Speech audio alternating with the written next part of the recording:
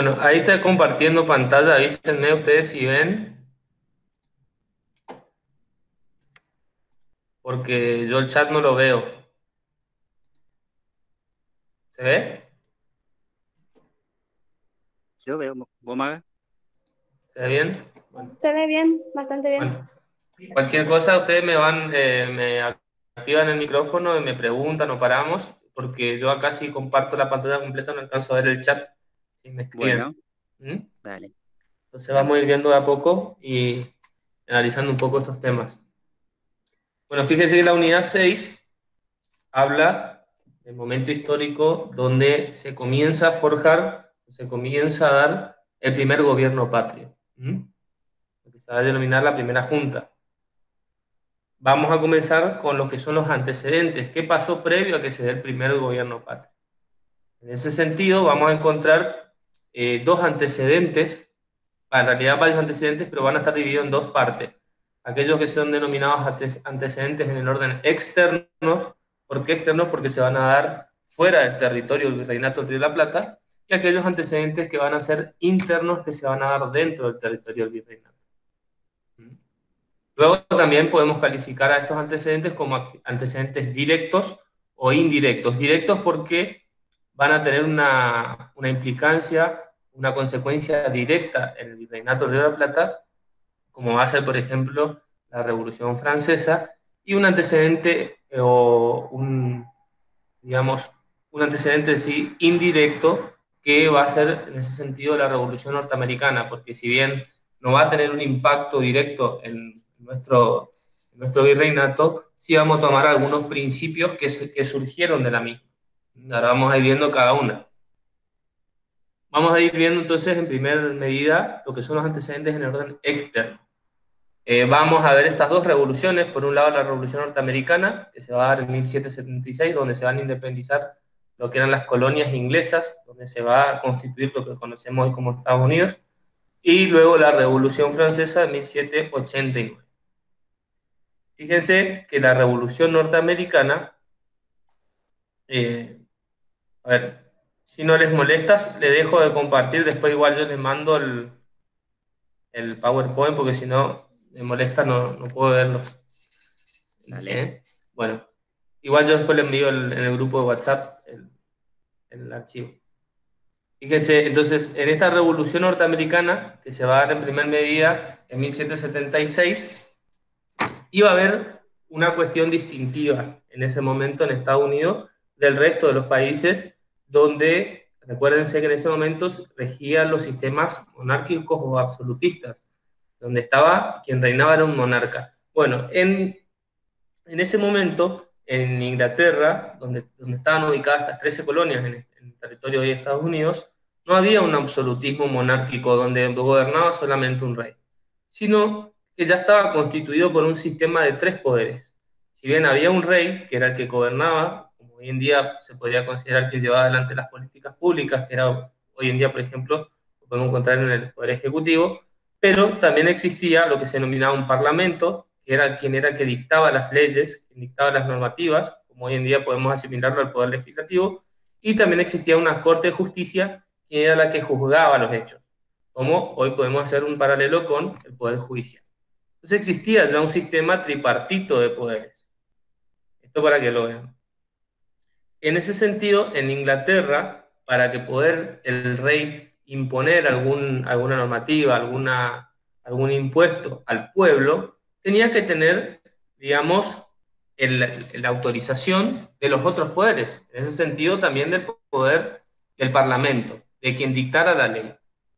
Es por eso que surgió el problema cuando se le impuso a estas 13 colonias un mayor impuesto a la recaudación, porque lo que se recaudaba de impuestos en las 13 colonias iba a la corona inglesa. Al aumentar ese impuesto, ¿qué exigían estas 13, estas 13 colonias? Exigían tener representación en el Parlamento, poder elegir sus representantes y que los representen, como hoy en día serían los diputados, en el Parlamento. A esta petición que hicieron estas 13 colonias, ¿qué pasó? El monarca lo que hizo fue, o el rey, fue negarle esta representación en el Parlamento, diciendo que eran colonias, negándole la, representación y Esto fue el motivo por el cual se produjo la separación de estas 13 colonias y la independencia de estas 13 colonias de la corona inglesa. ¿Por qué? Porque al, requerir esta representación y la corona negarle, provocó que se hayan fracturado este sistema que estaba vigente, que eran las colonias, y las colonias eh, soliciten o establezcan la necesidad de poder elegir sus representantes. Entonces, así que se va a separar, se, va, se van a quedar en dos estados distintos, por un lado Inglaterra, por otro lado estas 13 colonias que se van a, se van a conformar como lo, que, como lo que conocemos hoy en día como Estados Unidos, con sus estados, y de ahí van a surgir distintos principios que vamos a tomar luego nosotros cuando, eh, cuando se realizó en nuestra historia el primer gobierno patrio. ¿Cuáles van a ser esos principios esenciales que vamos a tomar? Primer medida, el principio republicano. Principio republicano significa que vamos a regirnos en una república, una república donde no va a haber un solo órgano encargado del poder, no va a haber una monarquía o un absolutismo, sino que va a haber una distribución de poderes. En ese sentido, cuando hablamos de república, hacemos mención a tres poderes, poder ejecutivo, legislativo y judicial.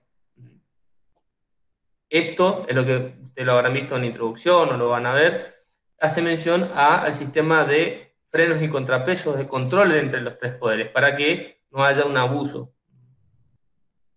Esto es lo que se denomina división de poderes. Luego, también, ¿qué otro principio se va a tomar de esta revolución norteamericana? El principio de la periodicidad en las funciones. O sea, ¿qué significa? Que ahora a quienes el pueblo elija o designe como representante, va a tener una periodicidad, va a tener un mandato limitado por el tiempo. No va a ser a perpetuidad como eran las monarquías absolutistas que eh, mandaban y gobernaban hasta que fallecían y así quedaban los, los, los herederos, sino que ahora los gobernantes van a ser elegidos por el pueblo y van a tener un mandato preciso desde determinado tiempo. Esto es la periodicidad en las funciones, que luego de determinado el mandato, el pueblo nuevamente va a elegir quién va a ser el sucesor.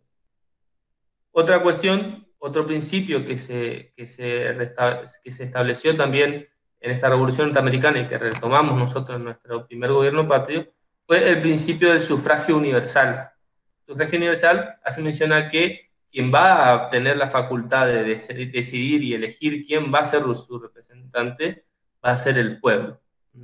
Por eso esto va a estar vinculado al otro principio que es la soberanía popular quién es soberano, quién tiene el poder de elección y quién tiene la facultad de dirigir, digamos, los designios o los destinos de la nación, va a ser el pueblo a través de sus representantes. El pueblo es quien va a decidir quién los va a representar y quién los va a gobernar. Y en caso de que haya un, abuso de, poder por parte del gobernante o que lleve adelante una mala gobernanza, el mismo pueblo es quien puede removerlo. Estos principios entonces fueron los que fueron marcando y fueron utilizados luego en nuestra revolución, eh, en nuestra revolución de mayo. Fíjense que esta revolución norteamericana, de cierta forma, eh, es caracterizada como una revolución, eh, como una influencia, pero de forma indirecta. ¿Por qué indirecta? Porque en realidad fue un conflicto que se dio en Inglaterra y sus colonias. No tuvo, un, no tuvo una consecuencia directa en el virreinato del Río de la Plata, pero sí tomamos estos principios que fuimos mencionando. Por eso se denomina que tiene una influencia indirecta. Ahora bien, cuando adentrándonos en lo que es la Revolución Francesa, que se produjo ya en 1789, esta Revolución Francesa sí tuvo una revolución directa en el Virreinato del Río de la Plata. Ahora vamos a ver por qué.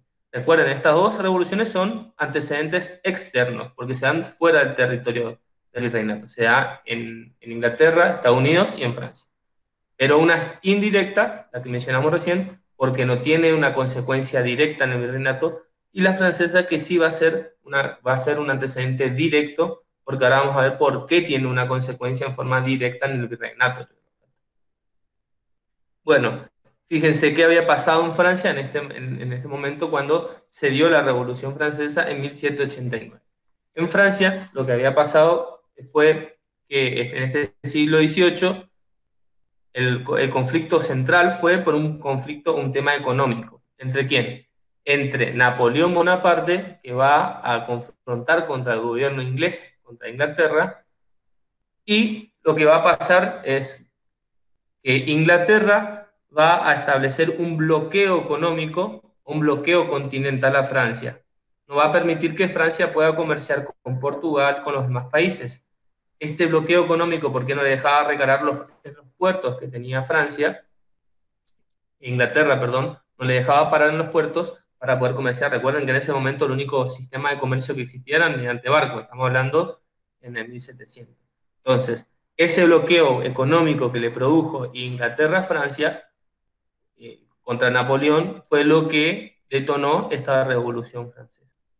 ¿Qué va a pasar? Ahí es cuando Francia va a acudir a España pidiendo ayuda para poder de cierta forma, atravesar por su territorio, por el territorio español, y, e invadir así Portugal. ¿Por qué invadir Portugal? Porque Portugal era aliada de Inglaterra. Entonces, de esa forma podía debilitar al enemigo inglés.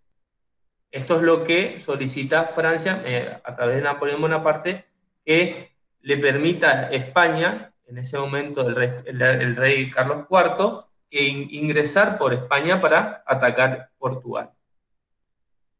Al Napoleón ingresar por España, ¿qué va a hacer? Va a, tomar España. En vez de, en ese momento donde se suscribe solamente un acuerdo entre Napoleón y el, rey español para poder ingresar, Napoleón luego va a llevar adelante actos de toma de, la, España. En ese momento es cuando va a provocarse el conflicto entre Francia, o Napoleón Bonaparte y España. En ese momento el rey Carlos IV. Por eso es que eh, al tomar España, el pueblo se va a levantar contra Napoleón, obviamente, porque tomó por la fuerza el gobierno español, siendo que se le había otorgado un permiso de paso, un permiso para poder invadir Portugal. El pueblo lo que va a hacer es pedir la renuncia de Carlos IV, quien era que había permitido que ingrese por, su por el territorio español. Es así que el mismo pueblo solicita la renuncia de, Fernando, de Carlos IV y Carlos IV renuncia. El rey español va a renunciar y va a quedar la corona en mando de su hijo, que va a ser Fernando VII. Fernando VII, justamente el hijo que va a quedar como rey de España, va a ser el que designa luego a Cisneros, que era el virrey aquí en el virreinato. Bueno, así que se va a solicitar un conflicto entre Fernando VII, que era el hijo de Carlos IV, y Carlos IV, que había renunciado. En esa cuestión, Napoleón va a intervenir como mediador y va a lograr que se le otorgue a él el mando de la corona española. Y Napoleón, ¿qué va a hacer? Como él, era, él estaba todavía en conflicto con Inglaterra, lo que va a hacer es le va a otorgar la corona para que quede provisoriamente en la corona española a su hermano, a José Bonaparte. Este conflicto, cuando se produce este, este conflicto entre Carlos IV y Fernando VII, o sea, entre padre e hijo, y que le otorgan a Napoleón la corona española, es lo que va a suscitar el conflicto aquí en el Virreinato del Río de la Plata. ¿Por qué? Porque si nosotros jurábamos obediencia a un rey español y luego ese rey español fue eh, tomado en cautiverio, como, sucedió con Napoleón, porque lo tuvieron preso a Fernando VII, era lo que se preguntaban los revolucionarios en el, en el del Río de la Plata. Si nosotros teníamos que seguir obedeciendo a un rey que ahora ya no era español, sino era un rey francés que tomó España. ¿Eh? ¿Se entiende? En ese sentido, es que va a estar gobernado por José Bonaparte, el hermano de Napoleón Bonaparte, y Fernando VII, quien era el hijo de, hijo de Carlos IV, iba a, estar, iba a quedar en cautiverio por José Bonaparte. Se iba a quedar preso, de cierta forma. Es así que ahí es donde se empieza a cuestionar esto de si debíamos seguir dependiendo de España o no. Porque a quien nosotros juramos obediencia, que era el rey español, estaba en cautiverio. Así es que se van a crear lo que se van a denominar las juntas provinciales. Que las juntas provinciales eran los gobiernos o los órdenes de gobiernos eh, de barriales o del pueblo donde se juntaban y aclamaban por la liberación de Fernando VII del rey español. Y se van a dar el mismo gobierno tomado por José Bonaparte va a ordenar la caída de estas juntas. O sea, va a ordenar el cese de estas juntas.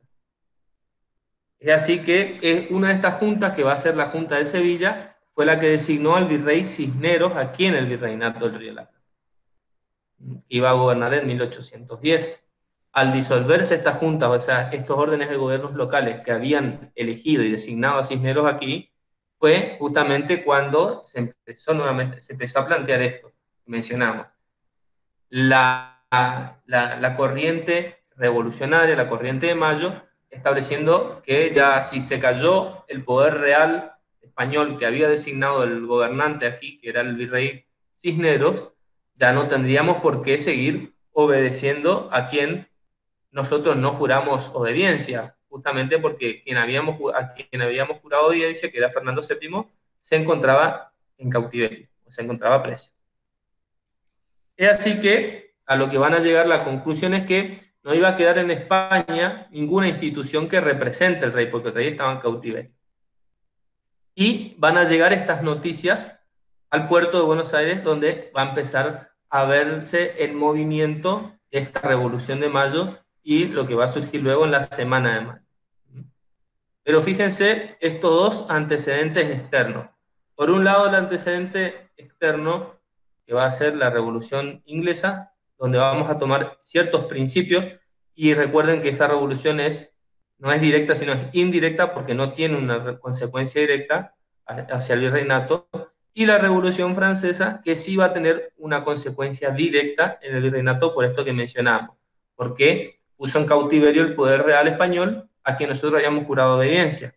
Es así que se empieza a replantear esta cuestión de crear nuestro primer gobierno patrio y lograr tener eh, un orden sin que un, gobierno patrio local sin que haya un representante de la corona aquí, o sea, sin que haya un virrey, porque justamente el virrey había cesado en su poder por haber, haber caído la corona española o estar en cautiverio. Bueno, es así que, es así que luego, luego vamos a ver ahora en la semana de mayo se va a provocar luego de estas noticias que van a llegar al puerto de Buenos Aires, de la caída de las juntas en, España, la caída de la Junta de Sevilla y la caída de las autoridades reales en España, es que se van a empezar los movimientos revolucionarios aquí en el virreinato, pidiendo que se cree un gobierno, pero que sea eh, ocupado por integrantes o personas que vivan en el virreinato, no por alguien designado por la corona española. Y así que se le va a solicitar, se le va a pedir al virrey Cisneros, que había sido elegido por Fernando VII, que abandonen el cargo de virrey. Ya vamos a ver qué va a pasar con Cisneros. Eh, si Cisneros no, no va a acceder así tan fácilmente a renunciar, sino que va a prestar un poco de resistencia. Vamos a ver por qué, qué cuál fue el accionar que llevó adelante Cisneros. Estas dos antecedentes, entonces, vamos a encontrarlo por un lado en el orden externo. Y luego en el orden interno, que se va a dar dentro del virreinato del Río de la Plata, vamos a encontrar lo que se llamó las, denominó las invasiones inglesas. Las invasiones inglesas se dieron en ese momento, en 1806, 1807, fueron justamente invasiones que llevó adelante la corona inglesa en el territorio del virreinato. ¿Por qué llevó adelante Inglaterra estas invasiones? Porque como decíamos hoy, Inglaterra estaba en guerra con Francia con Napoleón y también con España desde 1804 en adelante, necesitaba conquistar nuevos, nuevos, nuevos territorios para eh, proveerse de nueva materia prima y, proveer, y crear nuevas colonias. Es así que eh, Inglaterra envió expediciones a conquistar o a invadir. La primera invasión inglesa que tuvimos en el virreinato del Río de la Plata fue en 1806. esa invasión se llamó la Reconquista. ¿Por qué se llamó la Reconquista? Porque distintas tropas británicas lograron ocupar e invadir y remover las autoridades del virreinato. O sea, ocuparon la ciudad de Buenos Aires. Y luego de una intensa lucha, de una intensa, acá también hay que valorar que quienes estuvieron un gran aporte fueron las milicias populares porteñas, o sea, el mismo pueblo que se levantó en contra de las invasiones inglesas, Después le voy a pasar un video muy interesante que hasta el mismo pueblo se defendía hasta con aceite hirviendo de aquellos militares ingleses, donde le tiraban como no tenían armas. Eh, pero esto es lo que se llamó la reconquista, ¿por qué? Porque eh, estas invasiones inglesas lograron acentuarse y restituir el poder del virreinato. Y luego el poder logró, digamos, despojarlos y, digamos, expulsarlos de lo que era el virreinato. Esto fue en 1810, 1806, perdón. Al año siguiente, 1807, hubo una segunda invasión inglesa por parte de la corona inglesa, pero esta ya se llamó, se denominó la defensa. ¿Por qué? Porque si bien hubo un intento de invasión, fue repelido, no alcanzaron a afincarse y centrarse en el poder. Aquí también nuevamente fue este acto patriótico de defensa fue ya organizado militarmente, no solamente por las autoridades del virreinato, sino por el pueblo, como lo mencionábamos. Y luego hubo un intento de tercera invasión inglesa más adelante, pero que no se llevó a cabo. Esta tercera invasión inglesa no se llevó a cabo porque, porque España ya le había solicitado en ese momento a Inglaterra ayuda para combatir contra Napoleón Bonaparte, o sea, contra Francia. Entonces, en ese acuerdo que llevan adelante España e Inglaterra, llegan al acuerdo que Inglaterra no iba a invadir el virreinato porque aún se consideraba que éramos colonia de la corona española. Entonces, en ese acuerdo se lleva adelante, en ese acuerdo eh, que lleva adelante España e Inglaterra contra la lucha eh, contra Napoleón, Inglaterra se obliga a cesar, digamos, eh, a, cesar las invasiones contra la, la, colonia que éramos nosotros eh, de la corona española. Fíjense, entonces vamos a encontrar la primera y la segunda invasión con distintas características y una tercera que no se llevó a cabo por este acuerdo que mencioné. ¿Qué consecuencias van a tener estas invasiones inglesas? ¿Cuáles van a ser las características importantes que vamos a, destacar de estas, de estas invasiones inglesas? En primer punto, que el pueblo reconoció o se valoró que era capaz de defenderse, sin necesidad de tener un gobierno que lo defienda. Recuérdense que hablábamos que el virreinato, justamente el pueblo pedía que renuncie el virrey Entonces el mismo pueblo tomó esta decisión y, y se dio cuenta del poder que tenía en cuanto a su defensa de sus derechos. Primera cuestión. Segunda cuestión, que previo al virrey Cisneros, también se dio la, huida o se dio, digamos, donde huyó el virrey que estaba previo a Cisneros, que era el, virrey Sobremonte, y que justamente este accionar de un virrey, de un gobernante, dio al descrédito por parte del pueblo, donde el pueblo ya no creía en esas autoridades. Justamente cuando había una invasión, el mismo, la misma autoridad que era autoridad española designada por la corona española, huyó. En ese sentido, el pueblo se sintió desprotegido y es donde sacó esta, este valor, esta actitud de defenderse por sí mismo.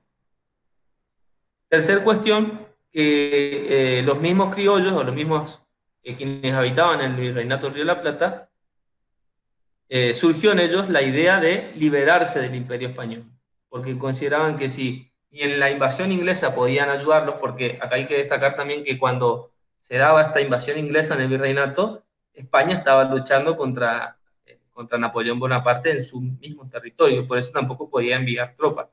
Entonces, es así que el mismo pueblo del virreinato vio la necesidad de defenderse por sí solo, porque ah, por más que solicite ayuda a la corona, a, quien dependíamos, no lo podían hacer. Es así que entonces surgió en estos criollos y a, través de estas defensas que vimos de las invasiones inglesas, que eh, la idea de liberarse del imperio español. Y luego que también se formó, como última cuestión central, que se formó a través de estas defensas que se llevaron adelante de las invasiones inglesas, los cuerpos militares que eran integrados por los criollos o por el pueblo. Ahí vamos a ver lo que se van a denominar los patricios, que era el pueblo militar armado. Era un grupo de, vecinos, de, de habitantes del virreinato, que ellos mismos se organizaron y se establecieron rangos, categorías, en base a constituir un poder militar de defensa ante una futura invasión. Esto por consecuencia de que España no podía enviar ayuda. Fíjense que todas estas cuestiones, tanto esta, esto que hablamos de, la, de las invasiones de, la, de las antecedentes en el orden externo, las revoluciones, y los antecedentes en el orden interno, que son las invasiones inglesas, fueron todos los antecedentes que fueron dando pie a que se lleve adelante la revolución de Mayo. ¿Qué es lo que vamos a hacer mención cuando hablamos de la revolución de Mayo? Es que se va a crear el primer gobierno patrio, o sea, el primer gobierno que iba a estar ocupado por personas que vivían en el virreinato del Río de la Plata. Y no iba a ser impuesto por o designado por la corona española. En ese sentido, fíjense que se va a dar lo que se va a denominar la revolución popular en Buenos Aires. ¿Qué es la revolución popular? Es este pensamiento, esta ideología del mismo pueblo de solicitar que la autoridad que era designada por, por la corona renuncie, que Cisneros renuncie y que ellos mismos iban a elegir sus representantes. ¿eh? Con esto no se iba a dar, no se iba a lograr eh, en la semana de mayo la independencia, porque aún íbamos a estar dependiendo de la corona, pero sí íbamos a lograr obtener el primer gobierno que iba a ser netamente, digamos, criollo, netamente integrado por personas que vivían en el virreinato del Río de la Plata y no a alguien impuesto por la corona, como era Cisneros. Bueno, en ese sentido, también eh, esta revolución popular que se fue llevando adelante empezó cada vez a fracturar un poco más la sociedad que estaba en ese momento, o sea, se veía un poco más la rivalidad entre quién, entre los criollos, o sea, quienes habían nacido en el Virreinato del Río de la Plata, por un lado, y por otro lado, los españoles que habían venido a España, que obviamente ocupaban los altos cargos políticos.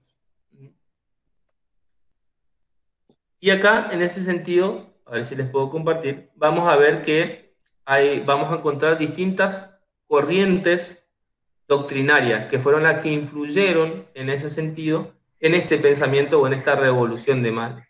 Seguramente muchas eh, de estas corrientes ya la habrán visto o la van a ver, ya sea en derecho político o en introducción al derecho.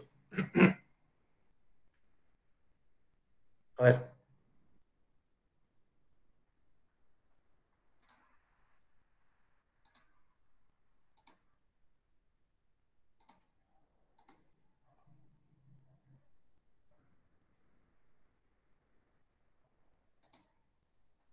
Bueno, ahí le estoy compartiendo, avísenme si se ve nomás. Fíjense que estas corrientes, que son la mayoría, bueno, vamos a encontrar corrientes europeas y también propias del Río de la Plata, que van a recepcionar mucho la misma idea. En primera medida vamos a encontrar a Jacques Rousseau, que era un pensador francés, que él hablaba de un contrato social. Y era este contrato social, que es donde él tiene un documento que él establece qué significaba esto para él como eh, catalogado como contrato social. Que los seres humanos o los habitantes firman entre ellos o acuerdan entre ellos implícitamente un contrato social que, que, les da la facultad de entre ellos elegir a un representante o a un gobernante y que esa designación o esa, elección de ese gobernante puede ser revocada cuando este gobernante lleva adelante actos que no son propios o que lleva una mal gobernanza. En ese sentido, lo que él dice es que siempre la soberanía, el poder de decidir quién va a gobernar y quién no, va a estar en manos del pueblo. El pueblo es quien va a elegir y designar a su gobernante. Y también puede eh, restituirlo o remover. Así también encontramos a Montesquieu. Montesquieu, donde habla en su obra, que es el espíritu de las leyes, él va a hablar de lo que es la división de poderes. Esto que mencionábamos hoy, el principio republicano donde va a haber una división de poderes, donde el poder ya no va a estar concentrado en la monarquía o en el absolutismo monárquico, en una sola persona, sino el poder va a estar dividido en distintos órganos. En nuestro caso, el Ejecutivo, Legislativo y Judicial, donde cada órgano va a tener su facultad, su función y entre sí se van a, controlar. Esto también es lo que se denomina check and balance o eh, frenos y contrapesos. ¿Por qué? Porque estos tres poderes de cierta forma, se van a controlar entre ellos para que no haya un exceso en, el ejercicio del poder. Esto es lo que establece Montesquieu en su obra El espíritu de las leyes, donde va a establecer esto que hablamos de la división de poder, donde el poder va a estar dividido.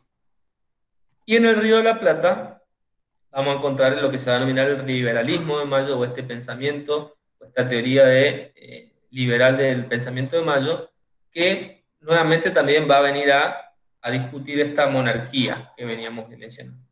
Mariano Moreno lo que va a sostener es que los pueblos o el pueblo que había, que había digamos, jurado obediencia al rey Fernando VII, recuérdense que Fernando VII estuvo cautivo, estuvo preso por eh, José Bonaparte, al estar preso José Bonaparte, estar cautivo, este pueblo debía nuevamente, el poder debía nuevamente retrotraerse al pueblo. O sea, que una vez que estaba, que solamente habían firmado obediencia al monarca, a este Fernando VII, en caso de que él no esté más en el poder, como estaba cautivo, por la toma del poder de Napoleón, el poder, el poder nuevamente volvía al pueblo. Entonces el pueblo debía designar nuevamente a quien decidía jurar obediencia.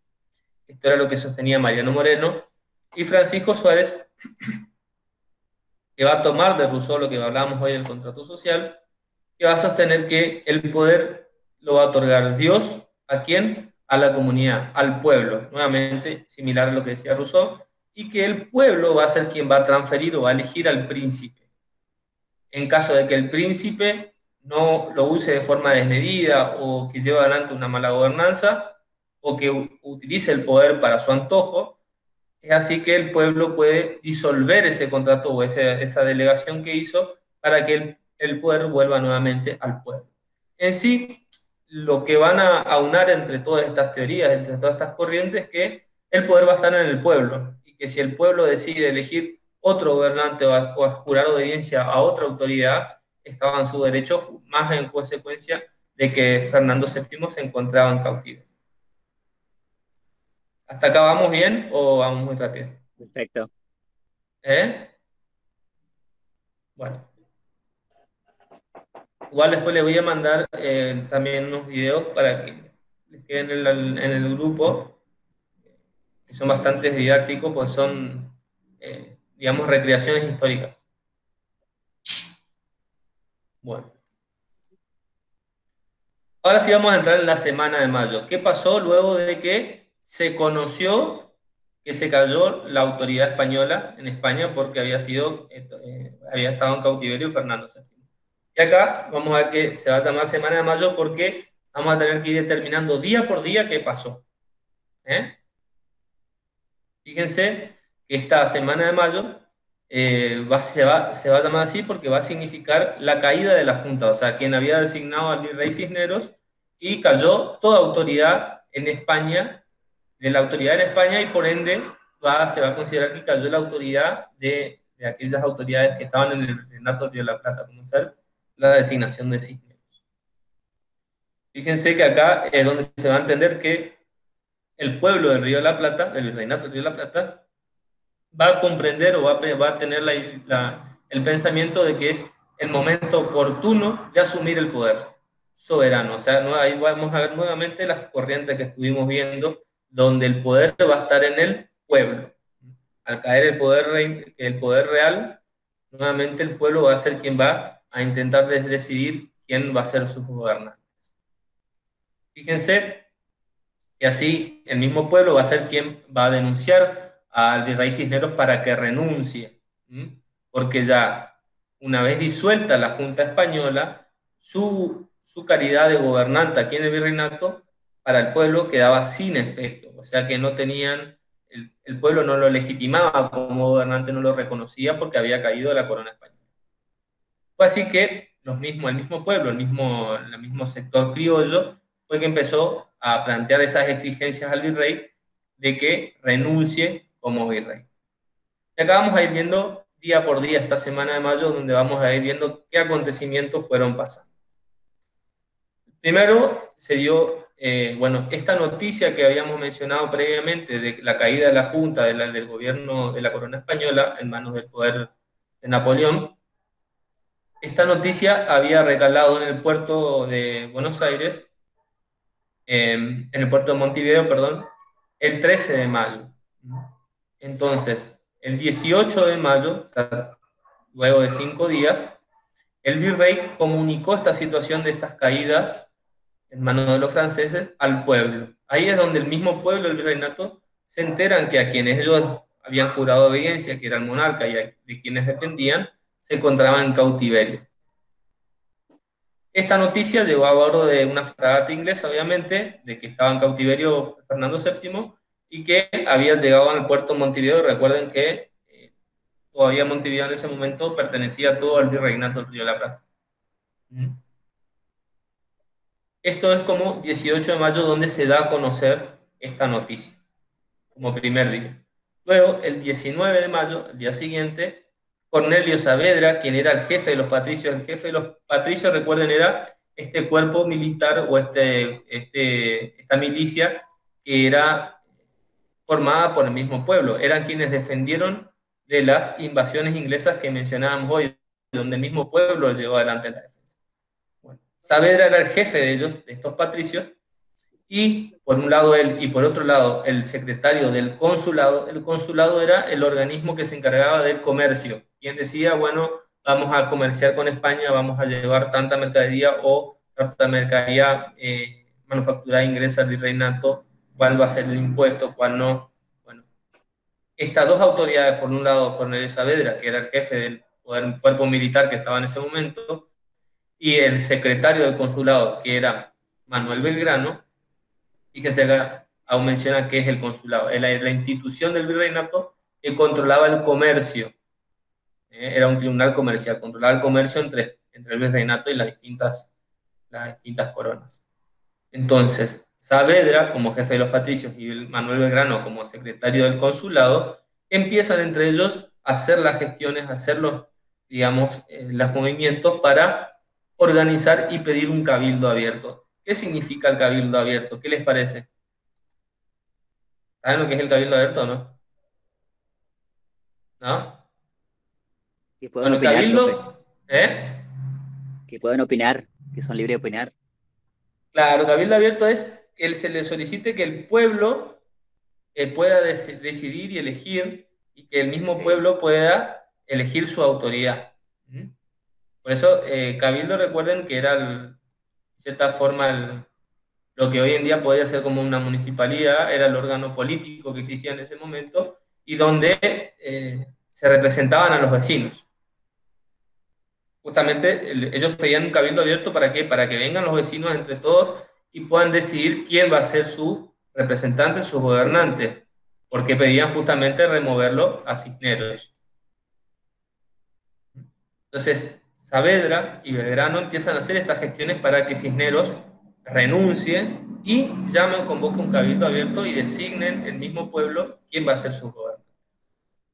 Fíjense, este cabildo abierto, la función que iba a tener es determinar si Cisneros debía seguir siendo virrey o no, y si, y si no tendría que ser más virrey, que se convoque para designar los nuevos gobernantes.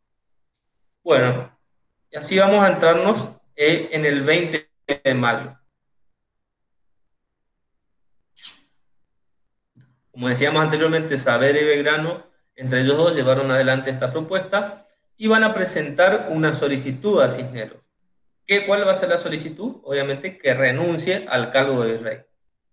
Fíjense, le van a preguntar, si, eh, Cisneros le va, le va, a esta petición que le llega a Cisneros, él mismo le va, le va a preguntar si podía sostenerlo en el mando con el poder militar. Recuerden que en ese momento tenía mucha relevancia el, poder de los patricios, el poder militar que había repelido las defensas e invasiones inglesas.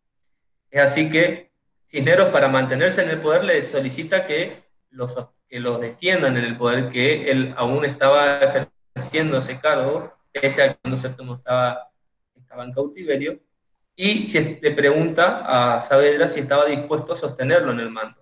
Saavedra obviamente va a quedar en silencio y le va a contestar al virrey, o sea, Cisneros, que no lo va a seguir, no lo va a sostener en el cargo y que no quería seguir la misma suerte que estaba viviendo en España de que estaba en cautiverio el rey Fernando VII.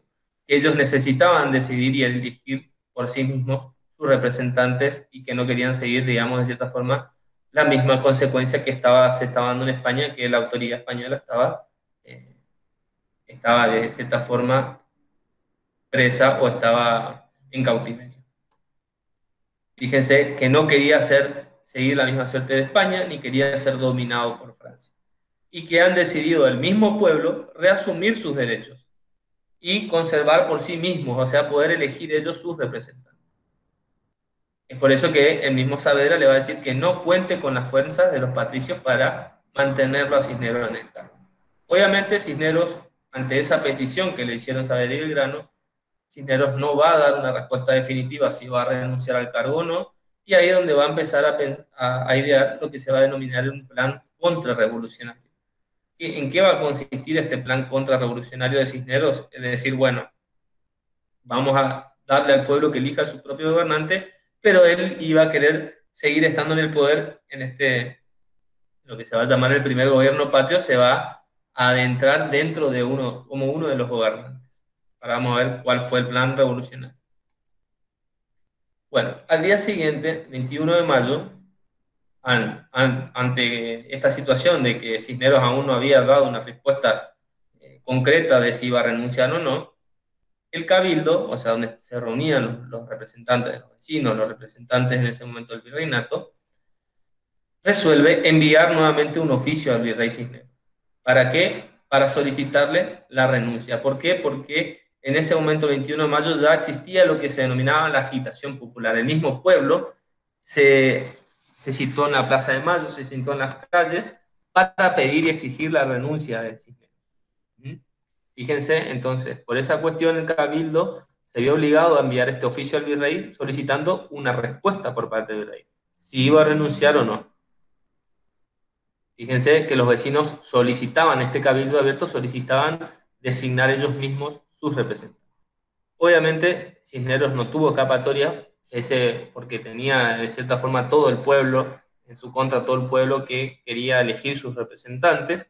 Es así que Cisneros va a acceder a esta petición y ahí es donde va a comenzar a organizar la asamblea, que es la asamblea donde va a empezar a invitar a todos los vecinos, a los representantes o a los vecinos más importantes, para llevar adelante la elección de qué forma de gobierno, porque recuerden que estábamos en un virreinato, ese momento era una sola persona eh, encargada de lo que era el virreinato, y ahora, a ver, dentro de esta invitación, de esta asamblea, los vecinos, qué forma de gobierno, cuántos representantes querían elegir y demás. Es así que van a enviar las invitaciones a los vecinos más importantes, iban a ser 450 invitaciones y ahora vamos a ver que concurrieron al cabildo menos de la mitad, 200 y pico, 224. 251, perdón. Al día siguiente, el 22 de mayo, es donde, luego de haberse invitado a todos los 450 vecinos para que decidan cuál va a ser la forma de gobierno, cuántos representantes van a haber y demás, concurren 251 vecinos que van a participar en esta asamblea o en esta elección. ¿Qué va a decidir esta asamblea sobre la continuidad, si debe continuar el virrey en el cargo o no? Y si no continúa el virrey en el cargo, bueno, ¿quién va a quedar en el cargo de gobernante del virreinato? Ahí vamos a ver que de estos 251 vecinos, vecinos que participaron, 224 votaron y por mayoría terminaron adoptando que se debía imponer la remoción del virrey, o sea que debían sacarlo del cargo a Cisneros.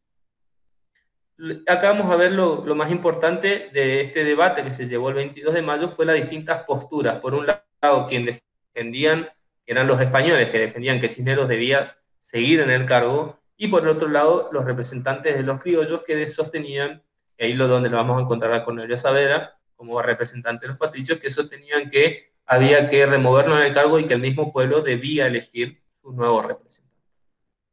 Fíjense, acá vamos a encontrar las dos posturas por un lado. Por un lado, los españoles, que defendían la continuidad de Cisneros en el cargo y le quitaron los derechos a Buenos Aires para decidir por todo el virreinato. ¿Qué decían los españoles? Que Buenos Aires no podía decidir por todo el virreinato, porque Buenos Aires tenía la autoridad solamente dentro de su territorio. ¿Mm? ¿Cuál fue uno de los argumentos de estos españoles? Decían que mientras hubiera un español en las tierras, este tenía derecho a gobernar a los nativos. Este era, por ejemplo, el representante de los españoles, Manuel Villota. Del lado de los criollos, del lado de, quienes solicitaban que se remueva dinero y que se designe un nuevo gobierno elegido por el pueblo, o del lado que se denominó patriota, fíjense que eh, iban a estar expresados por Juan José Castelli Juan José Paso, que eran los vocales. ¿Qué va a decir Castelli? Castelli va a decir que, basado en el pacto de obediencia, o sea, que, el pueblo había eh, establecido un pacto de obediencia al monarca español, o sea, Fernando VII, que estaba en cautiverio, que ese poder no es incondicionado y limitado, o sea, que no es para siempre esa, esa obediencia que juraron, sino que se encontraba condicionado a que ese gobierno no caiga en tiranía, lo que mencionábamos anteriormente, que sea un buen gobierno, un buen, gobernante, o por acefalía, acefalía o cautiverio. O sea, en caso de que no esté más en el gobierno el poder español, el gobernante español, en este caso Fernando VII, porque se encontraba en cautiverio, caía ese pacto de obediencia que había llevado adelante el pueblo hacia él. Entonces, en ese caso, el rey perdía el poder sobre el pueblo. Esto es lo que decía Castelli y Villota, también por parte de los patriotas, lo que va a rebatir va a ser que la cuestión, bueno, Villota lo que va a establecer, que recuérdense que Villota es, era, estaba por parte de los españoles, era quien sostenía que por el solo hecho de que haya un español tenía el derecho a gobernar, Villota va a, contra, va a contraatacar a lo que dice Castelli. ¿Y qué es lo que va a decir?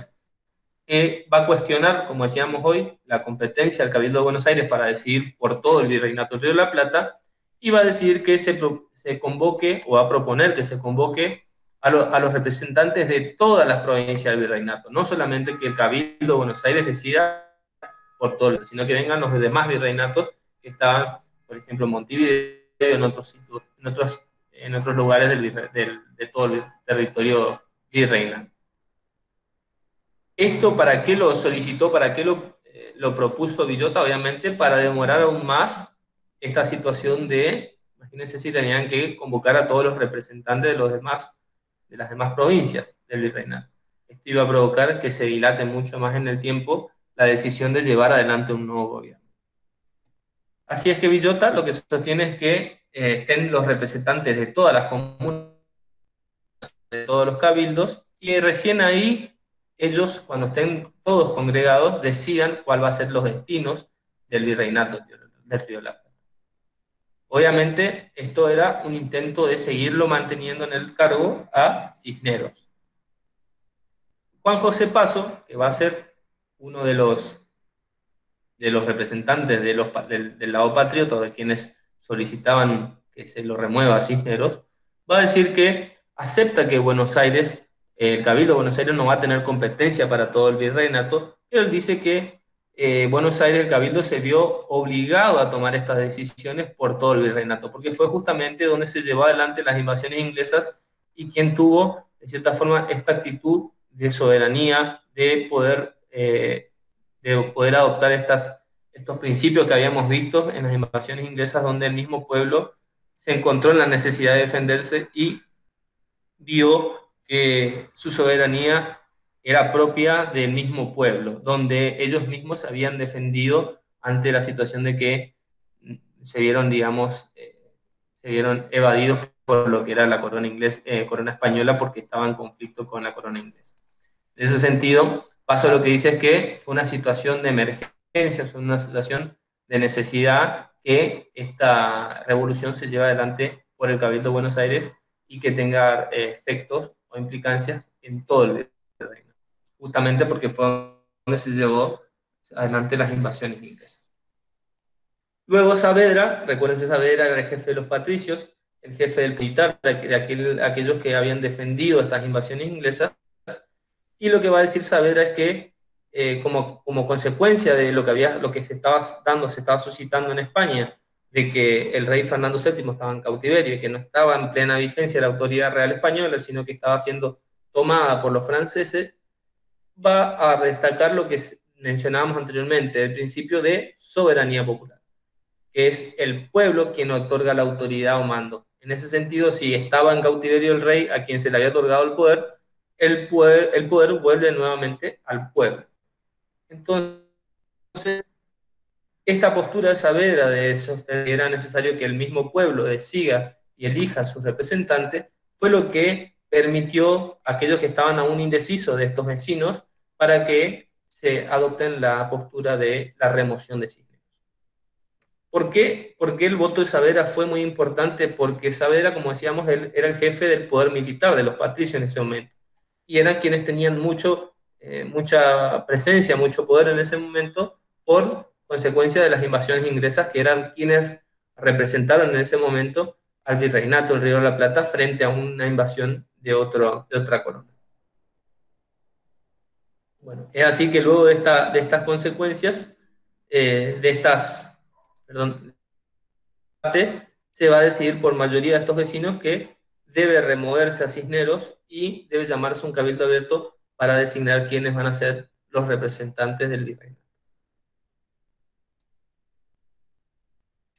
Bueno, al día siguiente, el 23 de mayo, se ya decidió mayor, amplia mayoría que el virrey debía cesar en sumándose a Cisneros, debía dejar el cargo de virrey, y el cabildo iba a encargarse de, del mando, o sea, de elegir quién iban a ser los representantes, o cómo se iba a conformar estos representantes una vez renunciado Cisneros. Fíjense, el cabildo ha de encargarse del mando mientras se congreguen los diputados de la provincia, hasta que vengan los representantes del interior para elegir qué forma de gobierno iban a elegir. Y ahí es donde va a empezar el plan contrarrevolucionario que habíamos dicho de Cisneros. ¿Por qué? ¿Qué va a decir Cisneros? Cisneros lo que dice es que el día anterior, por amplia mayoría, lo que se votó fue que él debía, dejar en el, debía cesar en el mando. Y el cabildo iba a asumir interinamente el poder. O sea que él no decía, para él, para lo que establecía Cisneros, no decía que él podía no podía integrar luego el gobierno, sino que debía cesar en el cargo de virrey para elegir nuevo gobierno. Por eso es que dice que no había facultado al cabildo a elegir una junta o a convocar a las provincias. Por eso él va a sostenerse y vamos a ver que él, en un primer forma de gobierno, él va a, a pronunciarse como gobernante y luego el pueblo nuevamente va a clamar que renuncie. Es así que él va a decir que eran nulas estas facultades del cabildo y va a intentar incluirlo dentro de los miembros de la Junta. O sea, lo que antes era un virreinato, donde estaba en la cabeza de una sola persona, que ahora iba a estar desplazado por esa forma de gobierno y se iba a designar una junta, un gobierno provisorio, Cisneros lo que va a hacer es tratar de meterse como representante de. Fíjense, al anochecer del 23 de, 23 de mayo, lo que se va a publicar es un bando, en ese momento era la forma de notificar quién iban a ser los gobernantes, era donde se publicaba el nombre de las autoridades, y Cisneros iba a estar dentro de estos gobernantes. O sea, de estos nueve gobernantes, Cisneros iba a estar como gobernante. No iba a ser el único, pero iba a estar dentro de esos nueve gobernantes. Esto que iba a provocar nuevamente que el pueblo se levante en armas, se levante aclamando la renuncia de Cisneros. Así que el día 24 de mayo, cuando se da a conocer la formación de esa junta, que tenía, esta junta del reglamento lo pueden ver en del módulo, está, y creo que hay un video también que lo subieron en el, en el aula, que es sobre los preguntas, los parciales, donde analizamos el reglamento. Eh, fíjense en ese reglamento de tres artículos, ahí va a hablar cuál va a ser la facultad de la Junta, quiénes van a ser integrantes, y dentro de esos integrantes iba a estar Cisneros. Esta Junta del 24, donde iba a estar integrada por Cisneros, obviamente va a sorprender al pueblo, a los porteños, porque nuevamente iba a estar dentro de esos cinco miembros Cisneros como presidente. O sea, iba a seguir en el cargo ya no como virrey, integrante de la eso es lo que va esta, esta, esta comunicación en el pueblo, que los militares y el pueblo de los, los representantes de los patricios se presenten y nuevamente eh, establezcan que no van a acatar las órdenes de Cisneros. ¿eh? y van a solicitar nuevamente que Cisneros renuncie a todo cargo, ya no como virrey que había renunciado y tampoco como integrante de la Junta. Es que le van a solicitar que renuncie públicamente. Es así que el 25 de mayo se va a dar a través de esta exigencia, eh, de esta exigencia que le solicitan a Cisneros que renuncie a todo cargo de la autoridad, es que el cabildo se va, se va a reunir nuevamente para considerar la renuncia. No fue aceptado nuevamente por Cisneros, recuerden que como decíamos al principio, fue reacio en ese sentido y quería mantenerse en el poder, y la multitud, o sea, el pueblo, va a exigir en, el 25 de mayo, el, pueblo del Virreinato de la Plata se va a convocar y se va a congregar en la plaza, en la plaza 25 de mayo y va a solicitar la renuncia de Cisneros nuevamente. Es así que a través y en consecuencia del clamor social, de esta presión del, no solo del pueblo, sino del poder militar, que eran los patricios, Cisneros se va a ver obligado a renunciar al cargo de la Junta. Anteriormente lo, renunció al virrey y ahora al cargo de la Junta. Se iba a designar una nueva Junta integrada por habitantes del virreinato y que no eran designados ni españoles que habían sido designados por la corona. Fíjense que acá, acá como les mencioné, eh, el Cabildo nuevamente, cuando renunció Cisneros, eh, decidió solicitar la renuncia a Cisneros y este accedió. No, en realidad no le quedaba otra alternativa porque no tenía apoyo ni siquiera político por el pueblo, ni tampoco militar, porque las mismas fuerzas militares eran quienes le habían solicitado que renuncie.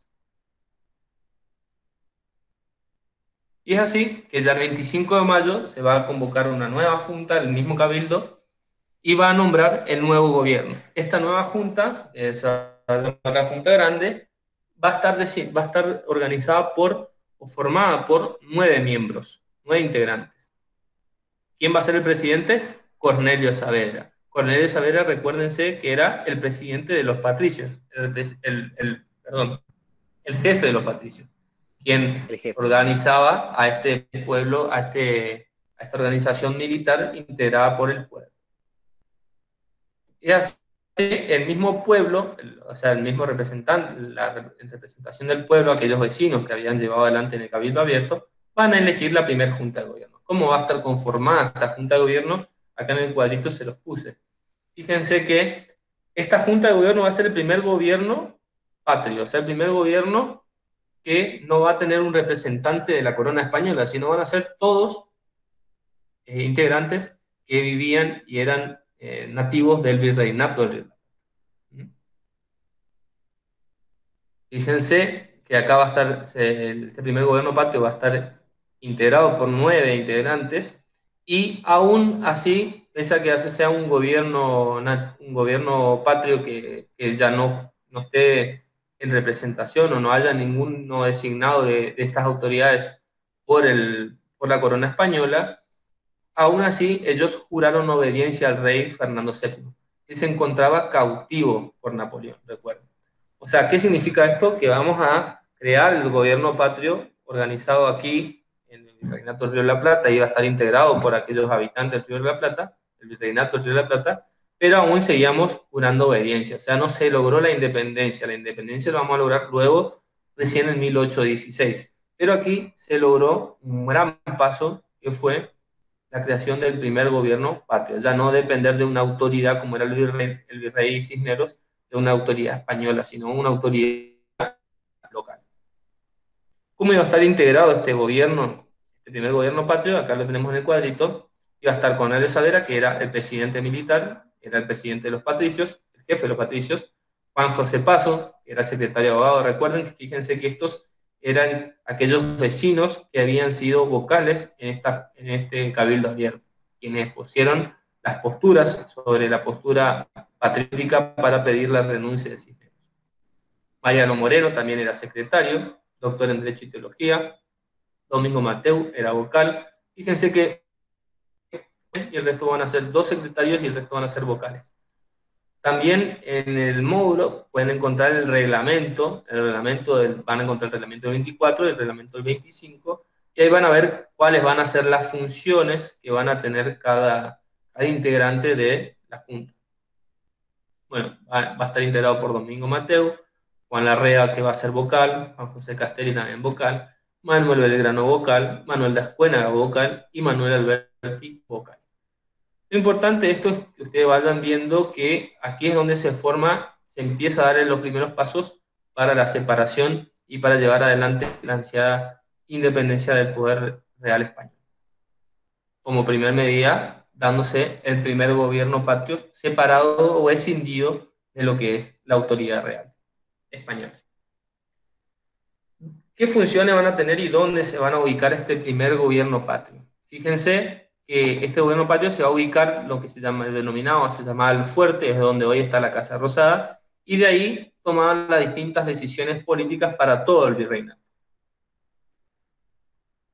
¿Cuál fue la primera eh, decisión política? Fue comunicar al resto del virreinato la a su poder a través de una circular. La circular era la forma de comunicar, una notificación que se enviaba a todo el territorio y se dio el 27 de mayo. En ese, en ese momento se comunicó a todo el virreinato que la autoridad del reinato era esta junta grande. Ya no estaba más Cisneros, ni tampoco Cisneros integraba la junta, sino eran esta junta de gobierno, esta junta grande, que era un gobierno patrio, integrado por estos nueve patriotas que mencionamos recién.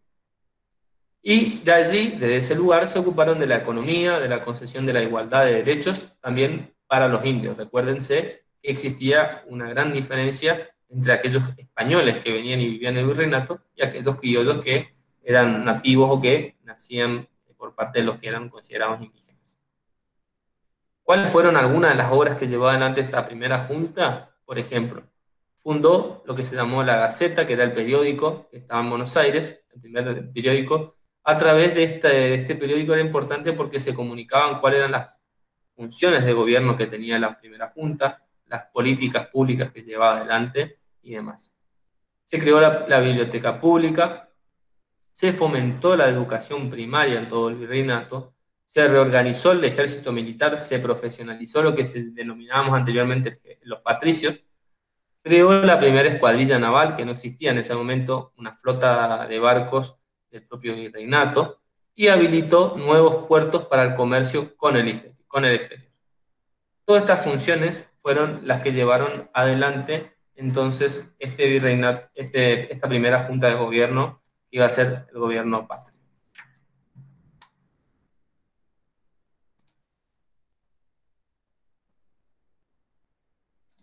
Bueno, aquí vimos un poco lo que son los antecedentes de la, de la semana de mayo y fuimos viendo qué fue pasando día tras día en la semana de mayo hasta lograr el 25 de mayo el cabildo abierto y que el pueblo elija a sus representantes que iban a ser estos nueve integrantes de la primera junta grande, la primera junta de gobierno, primer gobierno. Ahí nos quedaría un poco ver eh, los principios eso vamos a dejar ya para la clase que viene. Las corrientes doctrinarias, cuáles fueron las ideologías que se tomaron. Y vamos a tratar de terminar la unidad 6, la clase. ¿Alguna duda que le haya quedado sobre esto, que haya ido muy rápido, que quieran preguntarme, que no le haya quedado muy claro?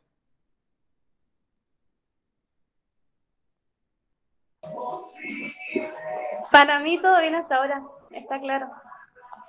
La verdad que está, había mirado algunos videos del aula virtual y también con eso me ayudó a entender mejor el tema, pero bien hasta ahora. Bueno. Perfecto, profe. Bueno, eh, igual yo ahora terminamos eh, de grabar esta clase, yo se lo subo al aula y recuerden también le voy a subir una bibliografía, le voy a subir un poco estos, estos PowerPoint y algunos videos que le van a también ayudar para, para el Buenísimo. Así que bueno. Bueno, nos vemos la clase que viene. Recuerden leer un poco, vamos a ver el punto que sigue. Estamos, fíjense, en la unidad 6.1. Esa unidad 6.1 la vimos toda recién, donde vimos la Revolución de Mayo, sus antecedentes, antecedentes acontecimientos eh, externos e internos. Recuerden las revoluciones externos, internos las invasiones inglesas. Vimos lo que son bueno, la semana de mayo, en donde vimos eh, día tras día qué fue sucediendo hasta el cabildo abierto y la creación del primer gobierno patrio, la primera junta. La clase que viene vamos a tratar de ver todo lo que es el punto 2 de la unidad 6 y el punto 3. Vamos a ver todos los principios políticos que se tomaron, que ahí vamos a ver nuevamente estas revoluciones inglesas y francesas que vimos, estos principios de soberanía, de república, de, periodicidad en las funciones, todos estos principios que fuimos mencionando. Y vamos a ver lo que es la consolidación de la revolución cuando se lleva adelante la notificación del 27 de mayo a todo el virreinato, que ahora quien va a ser el, quien va a ser el gobierno va a ser la primera junta. Vamos a ver también un poco el pensamiento de Mariano Moreno respecto a esta primera junta y a la, cómo estaba conforme. Así que bueno. Bueno, los dejo por acá y la clase que viene nos vemos de vuelta. Dale, profe. Gracias. Hasta luego. Bueno, chao. Chao.